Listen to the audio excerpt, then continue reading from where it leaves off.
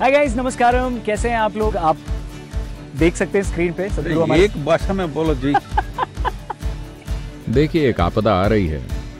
पिछले 26-27 सालों से हम इस पर काम कर रहे हैं। भारत के एक करोड़ बच्चों को प्रधानमंत्री को लिखना चाहिए।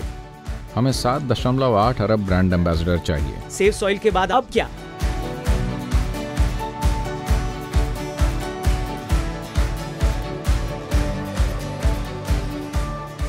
हाय गाइस नमस्कारम। कैसे हैं आप लोग? आप देख सकते हैं स्क्रीन पे सदगुरु एक भाषा में बोलो जी। तो सदगुरु हमारे साथ है मैं हिंदी में भी बोलूँगा और इंग्लिश में भी सदगुरु से पूछूँगा। सदगुरु ऑब्वियसली इंग्लिश में आंसर करेंगे। and हम रिक्वेस्ट करेंगे उनसे कि बीच में अगर वो हिंदी में भी कुछ बोल सकें। So welcome Sadhguru thank you for your time नमस्कार सदगुरु हाउ यू बिल्कुल ऐसा। तो सदगुरु पहला सवाल आदित्य का है वो लखनऊ से हैं। वो पूछते हैं हाँ हम सब सेव सॉइल आंदोलन का हिस्सा हैं, लेकिन सेव सॉइल मूवमेंट है क्या? अगर ब्रीफ में, संक्षेप में इसको समझाना हो, क्योंकि लोग हमसे पूछेंगे, हमारे परिवार वाले पूछेंगे, दोस्त हमसे पूछेंगे तो संक्षेप में इस आंदोलन को कैसे समझाएँ? दुर्भाग्य से लोगों का फोकस कई सारी चीज़ों पर चला गया है। लेकिन सारे जीव, तमाम बातों के बावजूद, चाहे वो जीवन जल में हो, समुद्र में हो, या यहाँ चल रहा हो, सूक्ष्म जीव कीड़े, पक्षी, जानवर पेड़ पौधे सब कुछ मिट्टी से पैदा हुए इसमें कोई शक नहीं है। अब, आज ये प्रमाणित बात है। हर जिम्मेदार वैज्ञानिक ये कह रहा है कि पहले ही पचास फ़ीसदी टॉप सॉइल, जो जीवन का पोषण करती है, नष्ट हो चुकी है। और भारत जैसे देश में, जहाँ हम साल के बारह महीने खेती करते हैं। आमतौर पर अगर पानी हुआ तो हम पूरे बारह महीने खेती करेंगे। आदर्श जलवायु वाले ज़्यादातर देश सिर्फ़ चार से छह महीने खेती करते हैं। सो तो खासकर यहाँ भारत अफ्रीका या दूसरे इलाकों में और साथ ही यूरोप और उत्तरी अमेरिका में भी मिट्टी का ज़बरदस्त नुकसान हुआ है। भारत में बासठ फ़ीसदी मिट्टी आप जानते हैं काफ़ी हद तक बंजर मानी जाती है। तो एक तरह से पूरी दुनिया धीरे धीरे रेगिस्तान में बदल रही है और हर कहीं जलवायु परिवर्तन ग्लोबल वार्मिंग की खूब चर्चा होती है। लेकिन इस पर कोई ज़ोर नहीं है कि इसमें मिट्टी की क्या भूमिका है। खुली जुती हुई मिट्टी और पक्की कर दी गई ज़मीन, ये दोनों करीब 40 प्रतिशत ग्लोबल वार्मिंग और जलवायु परिवर्तन के लिए जिम्मेदार हैं। तो मिट्टी को सुधारना ज़रूरी है, इसमें कोई सवाल नहीं है। मिट्टी को ठीक करने का क्या मतलब है? बहुत आसान है। आप रेत लेकर उसमें पर्याप्त जैविक तत्व डालिए तो मिट्टी बन जाती है। अगर आप मिट्टी लेकर उससे सारे जैविक तत्व निकाल लें तो वो रेत बन जाती है। तो आप अपने आसपास रेत चाहते हैं या मिट्टी? यही सवाल है। अगर आप जीवन चाहते हैं तो आपको मिट्टी की ज़रूरत होगी। तो ऐसा होने के लिए आपको क्या करना होगा? मैं कुछ कर सकता हूँ, आप कुछ कर सकते हैं। तो हमने अपनी ज़मीन को अच्छी तरह रखा है, ये बहुत जीवंत है। लेकिन हमें क्या पता कि अगली पीढ़ी क्या करेगी? मुझे यकीन है कि ये लोग अच्छा करेंगे, लेकिन हमें नहीं पता कि उनसे अगली पीढ़ी क्या करेगी। कोई गारंटी नहीं है, मैं कहता हूँ, क्योंकि ऐसा पहले ही हो चुका है। पिछली पीढ़ियों ने इसे अच्छी तरह रखा था और हमारी पीढ़ी ने उसे बर्बाद कर दिया। ऐसे ही भविष्य में भी ऐसी चीज़ें हो सकती हैं। यही वजह है कि हम दुनिया भर में ये पॉलिसी या नीति बनाना चाह रहे हैं। कि अगर आपकी अपनी ज़मीन है तो उस मिट्टी में कम से कम तीन से छह फ़ीसदी जैविक तत्व होने चाहिए। ये हर किसी की ज़िम्मेदारी है। हमें ये करना होगा। आप इसे सिफारिश की तरह ले सकते हैं या ये अनिवार्य हो सकता है जो हर जगह पर स्थिति की गंभीरता पर निर्भर करता है। लेकिन ऐसा होना चाहिए। So right now, save soil movement under the conscious Planet banner. तो अभी कॉन्शियस प्लैनेट के बैनर तले मिट्टी बचाओ अभियान का मकसद ये नीतिगत बदलाव लाना है। हर देश इसे अपने तरीके से कर सकता है। हर क्षेत्र अपने तरीके से कोशिश कर सकता है। हर अक्षांशी स्थिति, खेती की परंपराएँ, आर्थिक परिस्थितियाँ, ये सब तय करेंगी कि ये कैसे किया जाना है। लेकिन ज़रूरी बात यह है कि आप कहीं भी हों, आपकी मिट्टी में कम से कम तीन से छह फ़ीसदी जैविक तत्व होना चाहिए। यही पूरा मिट्टी बचाओ अभियान है। ये मेरे इसके लिए परवाह करने की बात नहीं है। हाँ आपको ज़रूर इसकी परवाह करनी चाहिए। लेकिन ज़रूरी बात ये पक्का करना है कि आने वाली पीढ़ी के पास मिट्टी हो क्योंकि मिट्टी एक जीवित इकाई है कोई सामान नहीं। एब्सोल्युटली तो आदित्य आपको अपना वीडियो मिल गया। आप इसे काट कर अपने लोगों के साथ ज़रूर शेयर करना। यही है सेव सॉइल आंदोलन। सदगुरु योगेश मुंबई से पूछते हैं कि क्या कोई ऐसी घटना थी जिसने आप पर इतना असर डाला कि एक दिन आपने फैसला किया कि चलो अपनी मिट्टी बचाएँ? क्या हुआ था? देखिए एक आपदा आ रही है। पर ज़्यादातर लोगों को तब पता चलेगा जब वो धमाके के साथ आएगी।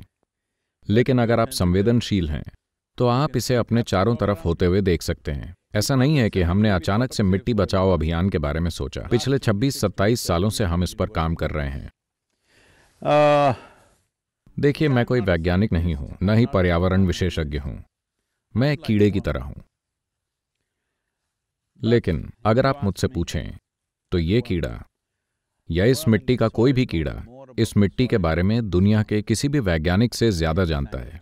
मेरा विश्वास कीजिए, मैं उन सब के लिए पूरे सम्मान के साथ वो काफ़ी काम कर रहे हैं, लेकिन एक कीड़ा, जब मिट्टी खराब होती है तो वो तुरंत जान जाता है क्योंकि ये उसके जीवन को प्रभावित करता है। तो ऐसे ही, मैं कीड़े की तरह हूँ, यानी कि मैं इस धरती पर रेंग रहा हूँ।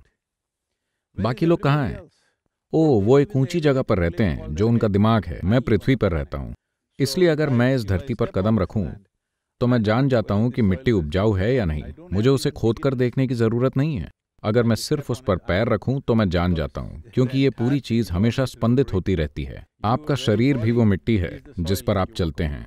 आप कैसे संवेदनशील नहीं हैं, क्योंकि आप एक तरह से अपने ही मनोवैज्ञानिक नाटक में कुछ ज़्यादा ही खोए हुए हैं। आपका नाटक सृष्टि और सृष्टि के मूलभूत तत्वों से ज़्यादा महत्वपूर्ण होता जा रहा है। ये जीवन का एक मूलभूत तत्व है। ये मिट्टी, खासकर टॉप सॉइल के ऊपरी 12 से 15 इंच, इस धरती पर लगभग सत्यासी फ़ीसदी जीवों की बुनियाद है। लेकिन हम संवेदनशील नहीं हैं, क्योंकि हमारा नाटक हमारे दिमाग में या हमारे फ़ोन पर चलता रहता है. बहुत बढ़िया। सदगुरु, अगला सवाल अरविंद पूछना चाहते हैं, वो दिल्ली से हैं। उनका कहना है दिल्ली वाला होने के नाते मुझे वायु प्रदूषण की ज़्यादा चिंता है। बेशक जल प्रदूषण भी एक समस्या है। तो मेरे लिए वायु प्रदूषण और पानी का प्रदूषण समस्या है। तो पहले मुझे ये देखना चाहिए या मुझे इस आंदोलन को फॉलो करना चाहिए? और पहले मिट्टी की बात करनी चाहिए। देखिए चाहे आपको साफ़ पानी चाहिए या साफ़ हवा सबसे मूलभूत चीज़ मिट्टी है। क्योंकि अगर आपको पानी चाहिए तो यह महत्वपूर्ण है कि मिट्टी अच्छी हो क्योंकि पानी को रोक कर रखने के लिए कोई दूसरी जगह नहीं है। अफसोस आज की पीढ़ी सोचती है कि आप पानी को प्लास्टिक की बोतल टंकी बाँध या झील या कुएँ में रोक कर रख सकते हैं। नहीं पानी को वहाँ नहीं होना चाहिए। पानी को मिट्टी में होना चाहिए। पानी को रोक कर रखने की मिट्टी की क्षमता Is 800% more, 800% more पूरी दुनिया की तमाम नदियों से 800 फ़ीसदी ज़्यादा है। तो पानी को मिट्टी में होना चाहिए कहीं और नहीं। लेकिन वो हर जगह है क्योंकि हमें लगता है कि वो तभी उपयोगी है जब वो वहाँ हो जहाँ हम उसे देख सकें। वो वहीं उपयोगी है क्योंकि मिट्टी में uh, जल तत्व है। तभी पेड़ पनपे हैं तभी हर चीज़ बढ़ रही है तभी आपका भोजन उग रहा है। आधुनिक सिंचाई का यह पूरा तरीका अपने आप में एक a very अधपका विचार है। मैं आपको जंगल में घुमाने ले चलूँगा। अगर आप अपनी उंगली से खोदें किसी कुदाल से नहीं सिर्फ़ अपनी उंगली से किसी भी मौसम में वो नम होगी। मिट्टी को ऐसा ही होना चाहिए। वहाँ जैविक तत्व 50 से 70-75 के बीच कहीं होता है। खैर ये हम नहीं कर सकते। अगर आप तीन से छह फ़ीसदी कर दें मिट्टी समृद्ध रहेगी। आप उसमें काफ़ी फ़सलें उगा सकते हैं। अगर आप वाकई समृद्ध मिट्टी चाहते हैं कम से कम बारह फ़ीसदी अगर आप पा सकें तो आपको ज़मीन को सींचने की ज़रूरत नहीं है। वो अपने आप उगेगा। सदगुरु ये सवाल बड़ा दिलचस्प है। ये एक दस साल की बच्ची हैं इनका नाम है भव्या ये नागपुर से हैं और वो कह रही हैं सदगुरु मैं आपकी सबसे छोटी फ़ैन हूँ। वो सबसे छोटी कैसे कह सकती है? वो ऐसा नहीं कह सकती। खैर बहुत बढ़िया। भव्या भव्या दिव्या। भव्या। भव्या। तो वो कहती हैं कि मैं इस आंदोलन का हिस्सा बनना तो चाहती हूँ लेकिन मैं बाइक नहीं चला सकती क्योंकि मैं छोटी हूँ और न ही वीडियो बनाकर उसे सोशल मीडिया पर पोस्ट कर सकती हूँ क्योंकि मेरे माता पिता मुझे ये करने नहीं देंगे। तो मैं क्या कर सकती हूँ? अपने सहपाठियों अपने स्टूडेंट्स अपने फ्रेंड्स के साथ मैं क्या कर सकती हूँ? इनके जैसे छोटे बच्चे बच्चियों के लिए उनके पास बहुत महत्वपूर्ण काम है। इस अभियान का नाम मिट्टी बचाओ है लेकिन सिर्फ़ बच्चों के लिए। मैं इस शब्द हमारी मिट्टी बचाओ सेव आवर सॉइल का इस्तेमाल कर रहा हूँ क्योंकि ये मिट्टी उनकी है लेकिन हम उसे खत्म करते जा रहे हैं। मैं चाहता हूँ कि हर बड़ा इंसान ये एहसास करे इसीलिए हमारी मिट्टी बचाओ। I want at least ten million children in India and across the world in proportion for their population in every nation to write to the prime minister और the president of the nation in this country to the prime minister that ten million children from India should write to the prime minister please do something about saving our मैं चाहता हूँ कि भारत और दुनिया भर में कम से कम एक करोड़ बच्चे हर देश में अपनी आबादी के हिसाब से उस देश के प्रधानमंत्री या राष्ट्रपति को लिखें। इस देश में प्रधानमंत्री को लिखें भारत के एक करोड़ बच्चों को प्रधानमंत्री को लिखना चाहिए। हमारी मिट्टी को बचाने के लिए कुछ कीजिए। हमें एक नीति चाहिए। आप क्या करेंगे? क्योंकि इस पीढ़ी और भावी पीढ़ी के सहयोग के बिना कोई राजनेता कोई बोल्ड लॉन्ग टर्म निर्णय बोल्ड लॉन्ग टर्म निवेश नहीं कर सकता। हर कोई सब कुछ शॉर्ट टर्म कर रहा है, क्योंकि लोग सिर्फ़ शॉर्ट टर्म चीज़ें चाहते हैं। तो मैं चाहता हूँ, और उसके दोस्त, और देश में उस उम्र के सभी लोग, और उनमें से एक करोड़ लोग, उसे प्रोत्साहित करने दीजिए, जितनों को वो कर सकती है, उसे वो करने दीजिए। लेकिन एक करोड़ बच्चों को प्रधानमंत्री को एक पत्र लिखना चाहिए। हम देखेंगे कि उसकी प्रक्रिया क्या है। वो कागज़ पर पत्र लिखें, अगर वो लिखकर मेल कर सकें तो अच्छा है। एक करोड़ पत्रों को संभालने के लिए शायद प्रधानमंत्री का ऑफ़िस लैस ना हो, लेकिन उन्हें हर बच्चे की भावना और चिंता को समझना होगा। ऐसा नहीं है कि वो समझते नहीं। लेकिन इस आवाज़ के बिना कोई निर्वाचित सरकार, कोई लॉन्ग टर्म निर्णय नहीं ले सकती, क्योंकि संसाधन हमेशा कम होते हैं। अगर आपने एक चीज़ की तो दूसरी नहीं हो पाएगी। Do we want long term solution for this nation? और do we want to do titbits of today क्या आप इस देश के लिए लॉन्ग टर्म समाधान चाहते हैं या क्या हम छिटपुट चीज़ें करना चाहते हैं? तो आप भव्य जैसे लोग भव्य जैसे बच्चे बोले कहें कि हम इस देश में लॉन्ग टर्म निवेश चाहते हैं। छिटपुट नहीं तब ऐसा ज़रूर होगा। Perfect Divya Bhavya all of you please write a wonderful letter and you need to share it with me first you know my email I D and my social media handles thank you thank you very much Sadhguru अगला सवाल नितिन का है वो बैंगलोर से है। वो पूछते हैं बल्कि वो ये कह रहे हैं कि इन दिनों हर तीन में से एक व्यक्ति जो इंटरनेट पर है वो एक मोटिवेशनल स्पीकर की तरह है। सोशल मीडिया पर यूट्यूब पर इंस्टाग्राम पर हर जगह। मैं कोई मोटिवेशनल वक्ता नहीं हूँ। तो उनका सवाल यही है वो पूछ रहे हैं कि लोग बोलते तो बहुत हैं लेकिन हकीकत में जमीनी स्तर पर काम बहुत कम हो पाता है उनकी तरफ़ से। और यहाँ आप हैं जो हर दो साल में कुछ नया कैंपेन शुरू कर देते हैं। अरे हर दो साल में मैंने कुछ नया नहीं शुरू किया है। हर किसी को ये समझने दीजिए। सब कुछ जो हमने किया वो सिर्फ़ एक जागरूक धरती या कॉन्शियस प्लैनेट के लिए है। हाँ चाहे आप इसे इनर इंजीनियरिंग कहें लेकिन ये सचेतन इंसान बनाने के लिए है जो कॉन्शियस प्लैनेट है। आप इसे प्रोजेक्ट ग्रीन हैंड्स कह सकते हैं वो इसी के लिए है। अब तक हमने कुछ पैंसठ मिलियन पेड़ उगाए हैं जो साढ़े छह करोड़ पेड़ हैं जीवित पेड़। Trees, living trees. फिर हमने नदी अभियान की बात की ये कॉन्शियस प्लैनेट के लिए है।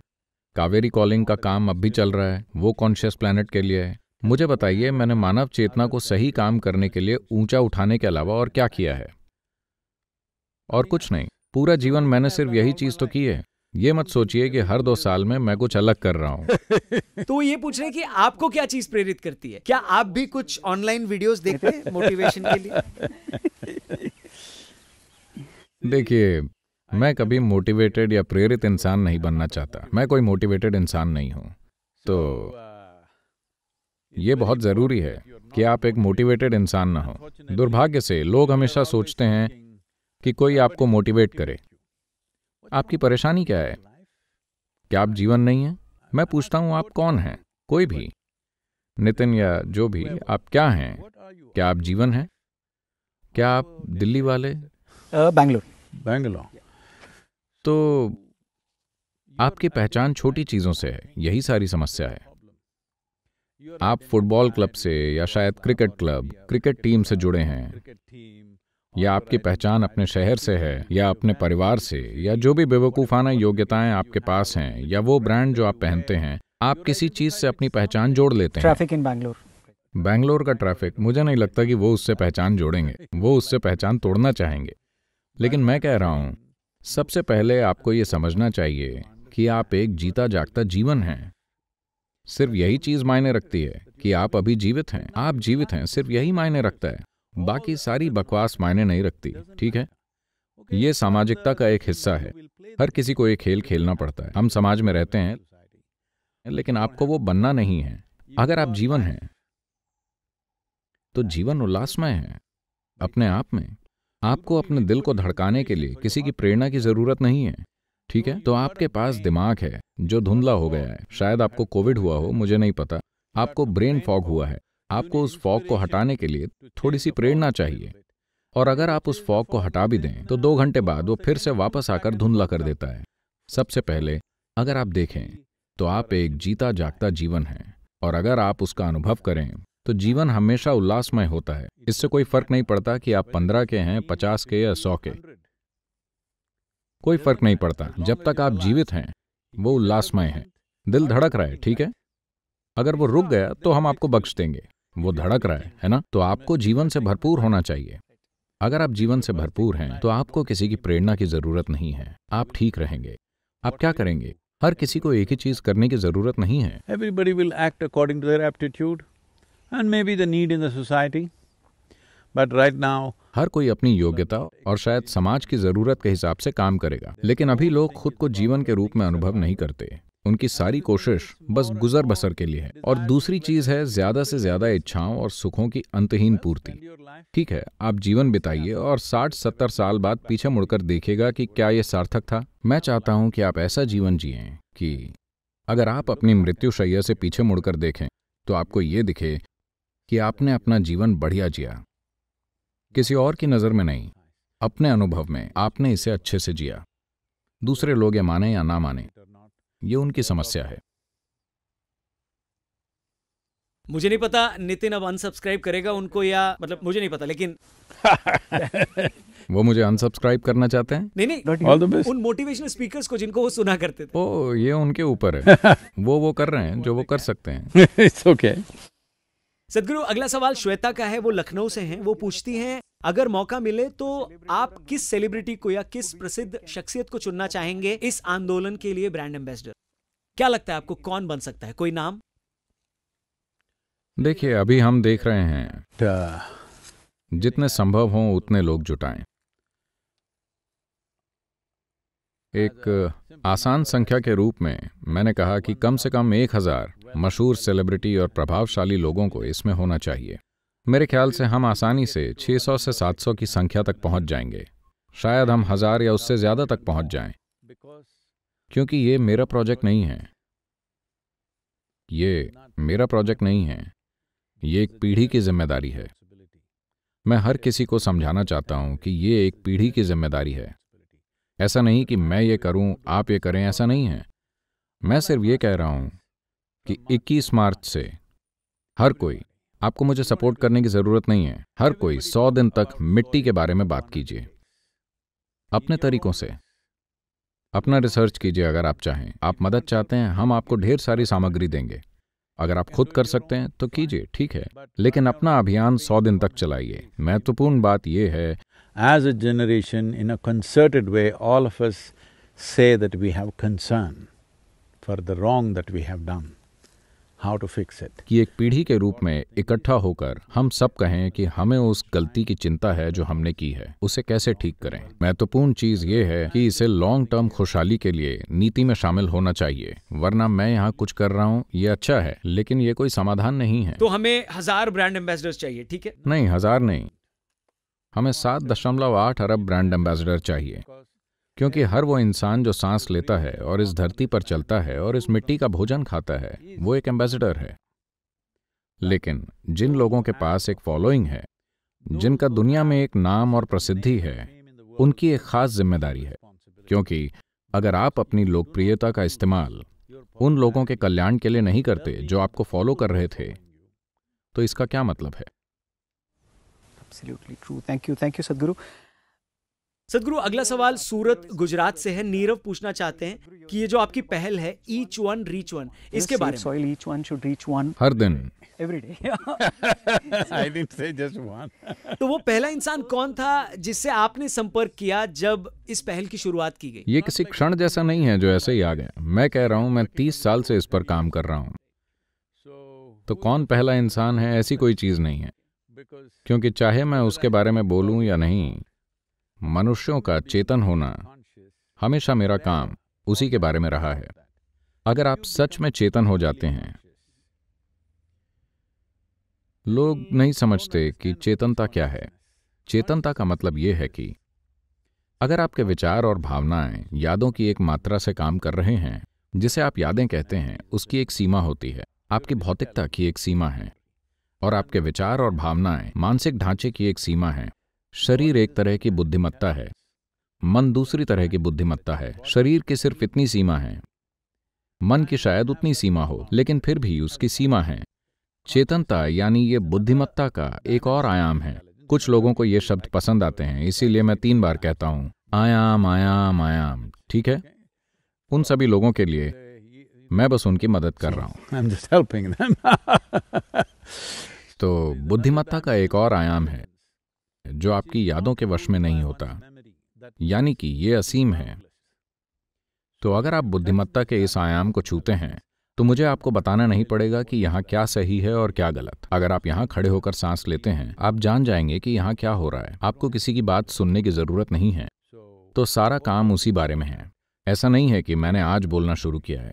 अगर वो उस पहले प्रोग्राम के बारे में जानना चाहते हैं, जब मैंने बोलना शुरू किया था, मैंने सात लोगों से शुरुआत की थी। मेरे सात विद्यार्थी थे। Including me seven. now, Including you seven. seven. Yeah. I had seven students. मैं आधे शहर को जानता था हर कोई मेरा दोस्त था लेकिन डेढ़ साल तक कुछ ना करने के बाद मैं एक बिज़नेस बनाने में और कुछ कुछ करने में बहुत व्यस्त था अचानक मैं काम से पीछे हट गया बस देश भर में बिना किसी मकसद के घूमता रहा और जब मैं वापस आया तो मैंने फैसला किया कि मैं वो साझा करूँगा जो मेरे साथ हो रहा है मैंने लोगों को एनरोल करने की कोशिश की कोई आना ही नहीं चाहता अचानक उन्हें लगता है कि मैं खतरनाक हूँ। मैंने खुद से बिज़नेस खड़ा किया था। मुझे किसी को कोई पैसे नहीं चुकाने थे लेकिन मैंने बस अपना बिज़नेस बंद कर दिया और किसी और को सौंप दिया। बस यूँ ही तो उन्हें लगता है कि मैं खतरनाक हूँ। So after much coaxing and coercion, only seven people came. तो बहुत मनाने के बाद सिर्फ़ सात लोग आए। मैं उन सात लोगों का आभारी हूँ क्योंकि पहली बार मैंने पाया कि मैं वाकई में कुछ सिखा सकता हूँ। तब तक कोई मुझे कुछ नहीं सिखा सका था। नहीं मैंने कभी किसी को कुछ सिखाने की कोशिश की थी। So तो अचानक मुझे एहसास हुआ कि मुझे वाकई अपने साथ हो रही चीज़ों को व्यक्त करने के लिए शब्द मिल सकते हैं। तो उसे चार दिन दो दो घंटे का होना था। लेकिन हर दिन वो चार घंटे पाँच घंटे तक खींच गया। और जब चौथा दिन आया तो उन्होंने कहा कि ये बहुत अच्छा है क्या हम एक और दिन बढ़ा सकते हैं हमने एक और दिन किया तो वो छह दिन का हो गया समय की बंदिश के बिना बस चार पाँच घंटे रोज चला जाता था तो उसके बाद हमने पीछे मुड़कर नहीं देखा मैं जान गया कि मेरे पास अपनी भीतरी स्थिति को बयान करने के लिए शब्द थे. तभी से मैंने बोलना शुरू किया. Yeah. So तब से ईच वन रीच वन हो रहा है Yeah. अगला सवाल सुंदरम पूछना चाह रहे हैं पुणे से। सुंदरम को तमिलनाडु में होना चाहिए चेन्नई में होना चाहिए। वो पुणे में क्यों है? He's an IT professional. He's- वो हर जगह चले जाते हैं। सदगुरु वो कहते हैं कि सिर्फ़ किसान ही हैं जो मिट्टी बचा सकते हैं क्योंकि वो दिन रात खेतों में मिट्टी ज़मीन में काम करते हैं। एक आईटी प्रोफेशनल कैसे? मैं तो सिर्फ़ डेटा बचा सकता हूँ। मैं मिट्टी नहीं बचा सकता। मैं कैसे मिट्टी बचा सकता हूँ? मेरी इसमें क्या भूमिका है? uh, मेरे ख्याल से सुंदरम जैसे लोगों को एक शपथ लेनी चाहिए कि अब से वो सिर्फ़ कंप्यूटर का डेटा खाएँगे। वो खाना नहीं खाएँगे। अगर वो ये शपथ लेते हैं तो उन्हें इसकी परवाह करने की ज़रूरत नहीं है। कोई यहाँ कोई कंप्यूटर का डेटा खाता है? हेलो? केवल खाना खाने वाले लोग. मुझे नहीं पता कि सुंदरम की इस जवाब पर क्या प्रतिक्रिया होगी लेकिन सुंदरम जो भी हो आप मुझे लिख सकते हैं। सदगुरु अगला सवाल श्रुति पूछना चाहती हैं वो इंदौर से हैं। वो ये कहती हैं कि पहले हम भारतीय कई क्षेत्रों में एडवांस थे। हम सुसंस्कृत थे हमारे पास सबसे महान आध्यात्मिक गुरु थे जिन्होंने इस धरती पर जन्म लिया। लेकिन भारत को अब क्या हो गया? What happen to India how how weird. इसके बारे में हम कैसे बात कर रहे हैं? हम सब ये मानते हैं कि धरती हमारी माता है। लेकिन अब आखिर हुआ क्या? See a land that was uh, a culture that evolved with the prime aspect being human consciousness. देखिए ये धरती जो एक ऐसी संस्कृति थी जिसने मानव चेतना को मुख्य पहलू बनाकर विकास किया था समय के साथ वो ज़्यादा नैतिकवादी हो गई बजाय चेतन होने के जब ये नैतिकवादी बन गई तो उन्होंने ये तय करना शुरू कर दिया कि क्या अच्छा है और क्या बुरा तो एक चीज़ ये हुई कि हमने सोचा कि जीवन के सूक्ष्म पहलू क्या हैं गणित, खगोल विज्ञान, संगीत में बहुत गहरी संलिप्तता। इस तरह हम ऐसे बन गए, इस आध्यात्मिक प्रक्रिया में गहराई से डूब गए। लेकिन हमने पर्याप्त योद्धा नहीं पैदा किए। तो जब हमलावर आए, वो हमले के इरादे से नहीं आए थे। वो सिर्फ़ लुटेरे थे। वो बस लूटना, बलात्कार करना और भागना चाहते थे। यही उनका तरीका है। लेकिन जब उन्होंने देखा कि लोग इतने ज़्यादा सीधे हैं तो लुटेरे राजा बन गए। वो एक गंभीर गलती थी जिसे अब हम सुधारने की कोशिश कर रहे हैं। और इसीलिए शायद हम नहीं जानते कि इसका क्या महत्व है। मैं उसका कोई विश्लेषण नहीं करना चाहता लेकिन कई चीज़ों में भारत में एक सबसे लोकप्रिय शिक्षा एक रणभूमि में दी गई थी। एक ऐसे इंसान जो एक योद्धा के गुरु हैं और उन्हें एक दिव्य जीव के रूप में भी देखा जाता है, वो उसे लड़ने के लिए प्रेरित कर रहे हैं, क्योंकि यही समस्या है। अपनी ही नैतिक बकवास में उलझे हुए, वो वो नहीं करेंगे जो उन्हें उस समय करना चाहिए। अगर आप अपनी ज़मीन, अपनी स्त्रियों, अपने बच्चों, अपनी संस्कृति, अपनी दौलत को नहीं बचा सकते तो आप पुरुष ही नहीं हैं। इसका यही अर्थ होगा। तो ऐसा नहीं है कि हर कोई लड़ाई करे। लेकिन योद्धाओं का एक समूह होना चाहिए। लड़ाई छेड़ने के लिए नहीं, लेकिन अगर ज़रूरत हो तो उन चीज़ों की रक्षा करने के लिए जो आपके लिए कीमती हैं। अब अगर मैं कुछ कहूँ तो अरे, ये कैसे आध्यात्मिक गुरु हैं? क्योंकि आध्यात्मिक गुरु को बस अपने चेहरे पर कब्ज जैसा भाव लेकर बैठना होता है। आप ऐसा कर सकते हैं। हम जानते हैं कि अतीत में हमारे साथ कैसी भयानक चीज़ें हुई हैं। आज आप और मैं ये बात कर रहे हैं, क्योंकि कई सारे करीब दस लाख महिलाएँ और पुरुष इस देश की सीमा पर डटे हुए हैं, ताकि आप और मैं यहाँ चल सकें, जीवन के दूसरे पहलुओं के बारे में बात कर सकें। अगर वो वहाँ ना खड़े हों तो मारकाट यहाँ होगी। कहीं और नहीं, हमें यह पता होना चाहिए। लोगों को लगता है कि लड़ाइयाँ सिर्फ़ सीमाओं पर होती हैं। वो बस मूर्ख हैं। लड़ाइयाँ हुई, लड़ाइयाँ शहरों में आईं, उन्होंने शहर जला दिए, उन्होंने लोगों के साथ भयानक चीज़ें की। क्या हम भूल गए दुर्भाग्य से ज़्यादातर लोग भूल गए हैं। उन्हें लगता है कि लड़ाइयाँ सीमाओं पर होती हैं। लड़ाई सीमा पर है क्योंकि जो लोग सीमा पर डटे हैं वो उन्हें देश के अंदर नहीं आने दे रहे। ये उनके समर्पण उनकी लगन उनके त्याग के कारण है कि हम यहाँ बात कर रहे हैं। हमें ये कभी नहीं भूलना चाहिए। Thank you thank you for sharing Satguru Sadhguru Bhopal से कल्याण ये सवाल आपसे पूछना चाहते हैं कि आप दुनिया भर में घूमे हैं बहुत से देशों शहरों में गए हैं। कौन सा ऐसा एक देश है आपके ख्याल से जो इस सेफ़ सॉइल मिट्टी बचाओ मूवमेंट के लिए रोल मॉडल बन सके भारत भारत क्यों नहीं? वो ये क्यों पूछ रहे हैं कि कौन बन सकता है? देखिए भारत के बारे में एक महत्वपूर्ण चीज़ ये है कि आज भी हमारे पास एक बड़ी कृषि आबादी है। यानी लोग जो खेती में लगे हैं मेरे ख्याल से पैंसठ फ़ीसदी से ज़्यादा। अगर आप उससे जुड़े उद्योग वगैरह भी ले लें तो सत्तर फ़ीसदी से ज़्यादा, सत्तर फ़ीसदी आबादी। या तो सीधे खेती में या उससे जुड़ी गतिविधियों में लगी है। जब ऐसा है तो मिट्टी को रूपांतरित करना या मिट्टी को सुधारना बहुत सी जिंदगियों को बदल सकता है।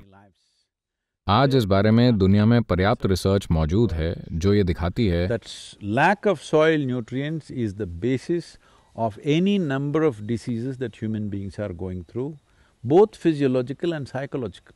कि मिट्टी में पोषक तत्वों की कमी बहुत सी बीमारियों की वजह है जिनसे लोग गुजर रहे हैं। शारीरिक और मानसिक दोनों। मानसिक बीमारियाँ और माइक्रो न्यूट्रिएंट्स की कमी सीधे सीधे आपस में जुड़े हुए हैं। तो जब ऐसा मामला हो जब सत्तर फ़ीसदी आबादी उसमें लगी है तो हम ये क्यों पूछते हैं कि कौन रोल मॉडल बन सकता है? हम ये क्यों नहीं कहते कि चलिए हम रोल मॉडल बनते हैं? अभी कावेरी पुकारे प्रोजेक्ट को यूएन एजेंसियाँ धरती पर ट्रॉपिकल देशों के लिए एक रोल मॉडल की तरह देख रही हैं। हम इसे पूरे देश में क्यों नहीं कर सकते? तो अगला सवाल भी सदगुरु इसी से जुड़ा है। So Rohini is asking is इस तरह के सवाल इसलिए आते हैं क्योंकि इन दिनों युवाओं को बहुत कम उम्र से ही स्कूलों में इस बात की ट्रेनिंग मिलती है कि वो कितना कमा सकते हैं। वो किस तरह के कपड़े पहन सकते हैं। वो क्या बकवास कर सकते हैं। बस यही सब। वो ये नहीं देखते कि उस जगह का विकास कैसे करें, जहाँ वो रहते हैं, चाहे वो शहर हो या राज्य या देश, शहर को कैसे एक बढ़िया जगह बनाएँ, ये उनकी चिंता नहीं है। क्योंकि उन्हें लगता है कि ये सब कुछ पागल देशभक्तों के लिए। आप और मैं तभी खुशहाल हो सकते हैं अगर देश खुशहाल हो, है ना? देश वो सबसे बड़ी इकाई है जिसके ज़रिए आप एक आबादी के लिए कुछ कर सकते हैं। अभी हमारे पास उस तरह की व्यवस्था नहीं है जहाँ एक ग्लोबल सरकार हो कि हम पूरी दुनिया के लिए कुछ कर सकें। लोगों के किसी समूह के लिए कुछ करने का सबसे बड़ा तरीका एक राष्ट्रीय पहचान के ज़रिए है, इसलिए देश महत्वपूर्ण हो जाता है। क्या देश सबसे ऊँची चीज़ है? नहीं। किसी दिन अगर हम सब राष्ट्रीय सीमाओं को मिटा सकें और सिर्फ़ एक मानव जाति के रूप में रह सकें तो यह शानदार होगा। लेकिन क्या हम उसके आसपास भी हैं? वो एक आदर्श है और ये एक हकीकत है ठीक है? सदगुरु रोहिणी कहती हैं कि आपने हमसे मिस्ड कॉल करने को कहा था हमने मिस्ड कॉल दिया। आपने हमसे पौधे लगाने को कहा था हमने लगाए। क्या बात है उन्होंने मिस्ड कॉल भी दी थी। मैं उन्हें प्रणाम करता हूँ। जी वो ये पूछ रही हैं कि अब क्या? मतलब आगे कुछ और भी है? सेव सॉइल के बाद आपके दिमाग में कोई और भी कैंपेन का आइडिया इसके बाद उन्हें आत्मज्ञान पाना चाहिए। वही मेरा पहला प्रोजेक्ट है। मैं अब भी उसी प्रोजेक्ट पर लगा हूँ। बीच में चूँकि आप सो रहे थे मैं आपको दूसरी चीज़ों से उठा रहा हूँ। थैंक यू थैंक यू सदगुरु आयुष ये पूछ रहे हैं कि कुछ लोग हैं जो दूसरे ग्रह पर बसने की सोच रहे हैं। वो बाहर जाने की कोशिश कर रहे हैं। वो इस दिशा में काम कर रहे हैं। लेकिन आप कॉन्शियस प्लैनेट की बात करते हैं। इससे मैं कंफ्यूज हो जाता हूँ कि वो भी तो बुद्धिमान और कामयाब लोग हैं। तो मुझे क्या करना चाहिए? मुझे किसे फॉलो करना चाहिए? और ज़्यादा आसान क्या है? इस ग्रह को चेतन बनाना या फिर किसी दूसरे ग्रह पर चले जाना?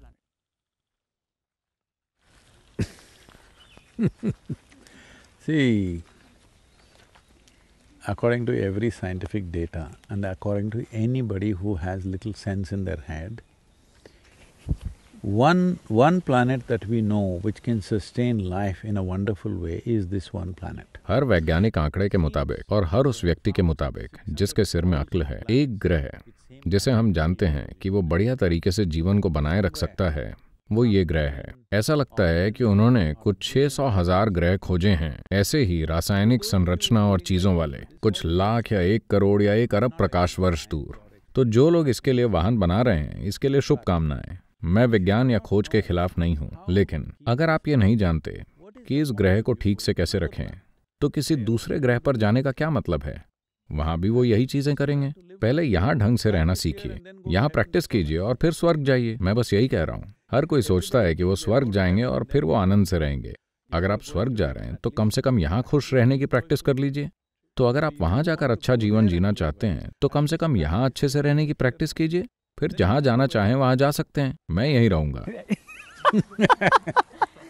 सदगुरु आनंद कहते हैं कि मैं कोई धार्मिक व्यक्ति नहीं हूँ और न ही मैं एक आध्यात्मिक साधक हूँ। मैं पक्के तौर पर नास्तिक हूँ।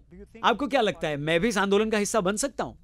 जैसा कि मैंने पहले कहा चाहे आप नास्तिक हों या आस्तिक, चाहे आप हिंदू हों या मुस्लिम, आप चाहे जिस भी जाति के हों, आप चाहे जो भी और हों, आदमी, औरत, जंगली जानवर, आप चाहे जो भी हों, क्या आप खाना खा रहे हैं? या आप अपनी नास्तिकता खा रहे हैं? अगर आप खाना खा रहे हैं तो मिट्टी महत्वपूर्ण है। बहुत बढ़िया सदगुरु थैंक यू सदगुरु अब एक क्विक रैपिड फायर राउंड है। आपको बस तीन में से एक ही ऑप्शन को चुनना है। Cauvery calling youth and truth save soil अरे ये तीन अलग अलग चीज़ें नहीं है ये एक ही है। बेशक कैंपेन्स के अर्थों में। तो भी आपको एक चुनना है। वो तीन अलग अलग चीज़ें नहीं है वो एक ही है। Still. मैं कैसे चुन सकता हूँ? वो पहले से ही एक है। Okay. कौन सी चीज़ है जो आपके दिल के सबसे ज़्यादा करीब है? खेती करना गोल्फ खेलना या बाइक चलाना?